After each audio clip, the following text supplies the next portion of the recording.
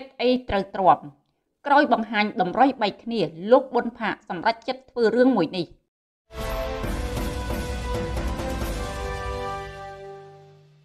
ក្នុងរយៈពេលប៉ុន្មានខែចុងក្រោយនេះគេសង្កេតឃើញថាជីវិតគូរបស់លោកប៊ុនផាកនិងម្ចាស់ហាងវីសបកញ្ញាសៀនធីរី កាន់តែល្អប្រសើរឡើងដោយលលោកញីឈ្មោលស្រមោចនឹងស្គរអញ្ចឹងតែពេលនេះបែរជាជួបរឿងនឹកស្មានមិនដល់ទៅវិញ ក្នុងដំណើរជីវិតរបស់ពួកគេ ត្រឡប់មកនិយាយពេលជីវិតគូរបស់ពួកគេកំពុងតែល្អុកល្អៅនោះពួកគេបានដឹកដៃគ្នាហោះហើរទៅសាកថ្មឲ្យជីវិត នៅឯកោះម៉ាឌីវដែលជាកោះល្បីឈ្មោះដូចឋានសួគ៌លើគោកតើតែអ្នកមានទើបអាចទៅលេងបាននោះក្នុងដំណើរកំសាន្តនេះពួកគេថែមទាំងបានចុងក្រងវីដេអូគួរឲ្យចាប់ចិត្តមើលមួយផ្លែតដូចជាវីដេអូត្រៀមរៀបមង្គលការ ជះចំហាយកក់ក្ដៅពេញទីតែម្ដង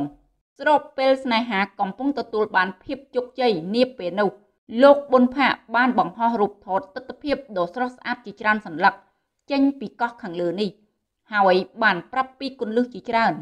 ដើម្បីឲ្យស្នេហាគង់វង្សបានយូរអង្វែងនោះ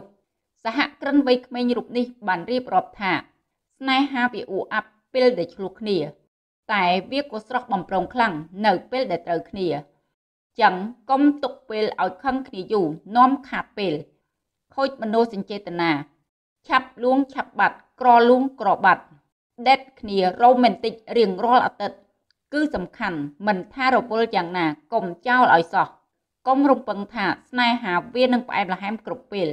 ជួនកាលក៏មានពេលធុញគ្នាជារឿងធម្មតាតាមបន្តិចទៅអារម្មណ៍នេះនឹងបាត់ទៅវិញដោយឯង ចំពោះមនុស្សស្រឡាញ់មិនដូចជាសត្រូវដែលចង់ឈ្នះចាញ់ទេ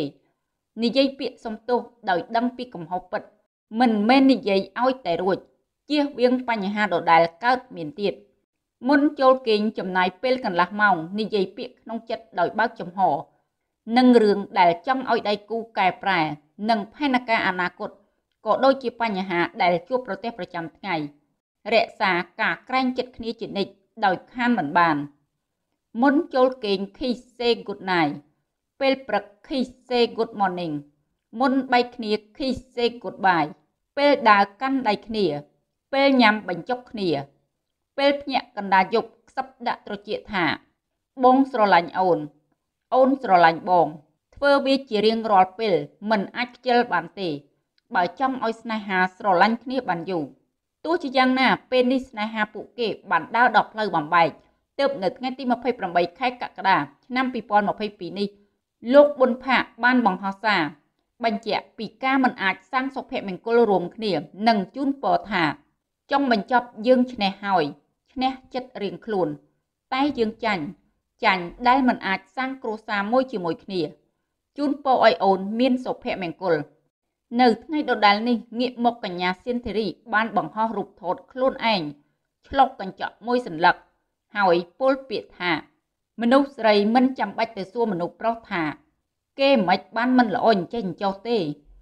គេមានសិទ្ធធ្វើអ្វីជាខ្លួនគេ គួរឆ្លុះកញ្ចក់មើលខ្លួនឯងថា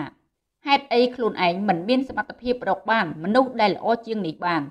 ហេតុអីត្រូវទ្រាំរស់នៅបន្តទៀតចាសសូមអរគុណសម្រាប់ការតាមដានព័ត៌មាននេះ